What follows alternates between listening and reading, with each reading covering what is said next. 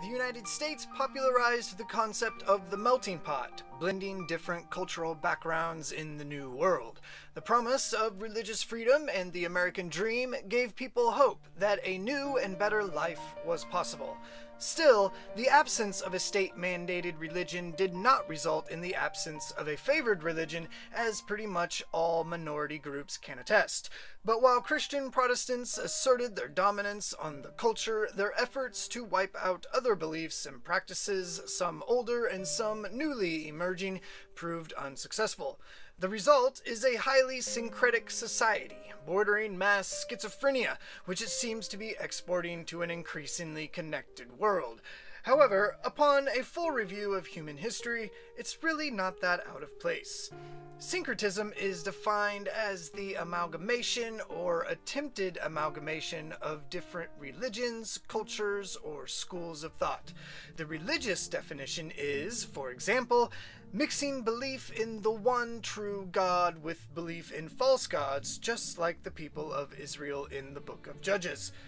A Christian viewpoint on the prosperity gospel reads Another example of syncretism is the insidious fusion of Christianity with the culture of success. Satan has effectively used the success syndrome to undermine Christians in our country.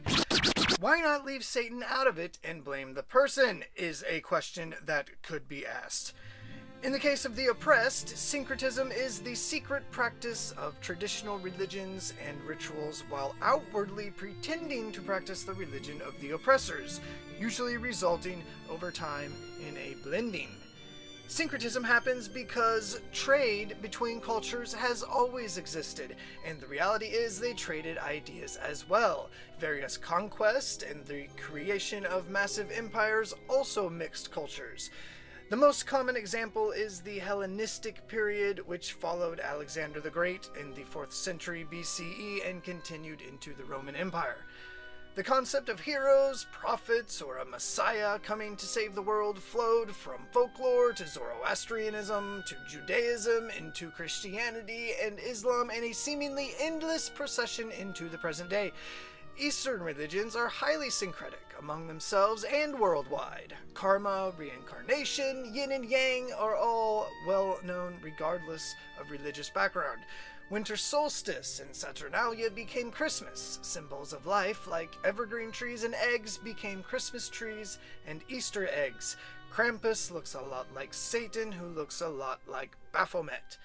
Today, some African Americans, likely raised Christian, are rediscovering their traditional roots in hoodoo, a return to animism and shamanism. They may even point to the Bible as evidence such as Exodus 28 17 through 21, which describes arranging magic stones. There are plenty more examples in the Bible, and this type of thinking is definitely not isolated to hoodoo. There are many similar movements, such as Druidism and Wiccan and other beliefs long considered pagan, but now usually referred to as New Age. They are updated to fit modern society and often viewed in direct opposition to Christianity. And of course, there's the shockingly popular and resilient return of flat earthers. This movement is in direct opposition to modern science and an attempt to reaffirm theism. Rather than a rejection of Christianity, they borrow from it, as well as the rich history of the world as they descend into what seems to be, again, borderline schizophrenia. There's an obsession with astrology, phonology, and numerology.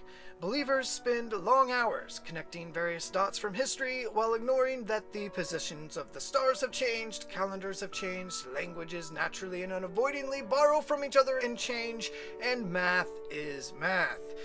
Gravity may keep our feet solidly on the ground, but the mind can think whatever it wants. Biologos is a group that, in their own words, embrace the historical Christian faith, upholding the authority and inspiration of the Bible. However, they reject a global flood and that modern animals, including humans, are descendants from the passengers of Noah's Ark.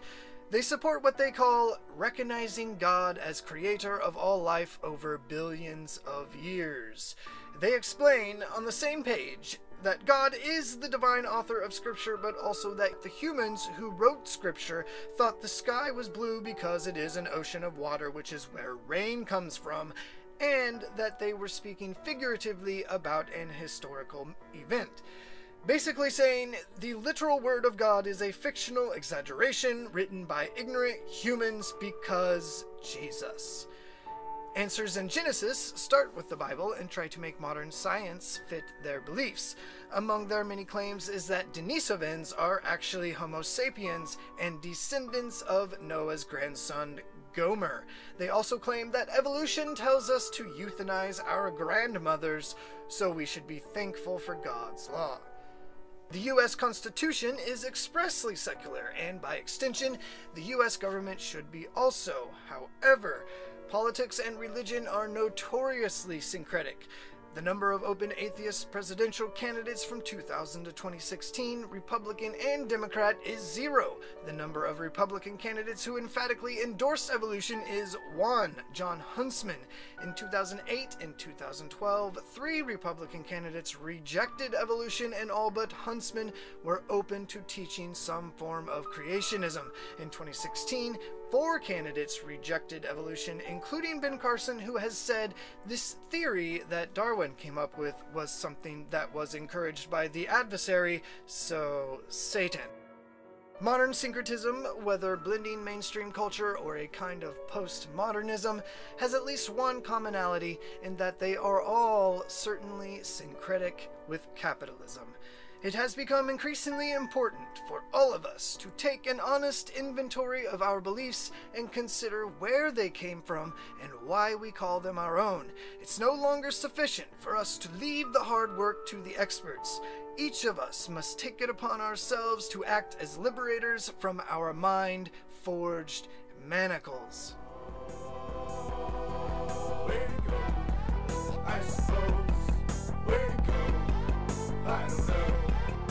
Way to go.